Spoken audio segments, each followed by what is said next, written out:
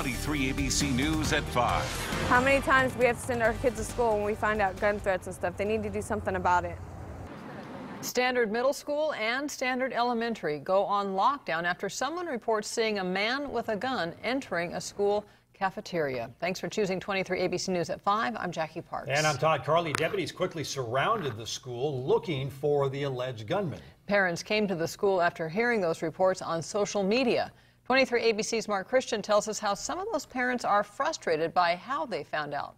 Tell you that, no reported injuries. Parents wanting to know how their kids are doing. I mean, it's a good thing that they're locking the school down, but I don't like that they're not telling the parents anything. Did not get the answers as quickly as they wanted. Some of us found out on Facebook.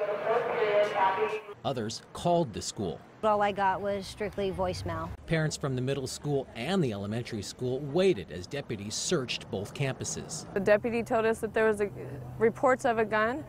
Um, they can't find no one that it's unfounded now, but they're not letting our kids out. They're not letting us in. School officials say they followed protocol to first make sure the students are safe, then inform the parents through social media with the latest details. For instance, using Twitter uh, so that in the middle of the process I'm able to update the community um, as to whether or not students are safe and whether or not indeed a lockdown is in process. Now, as parents wait to pick up their kids, many are frustrated about how they were notified about the lockdown in the first place. Many say they could have been notified by the school.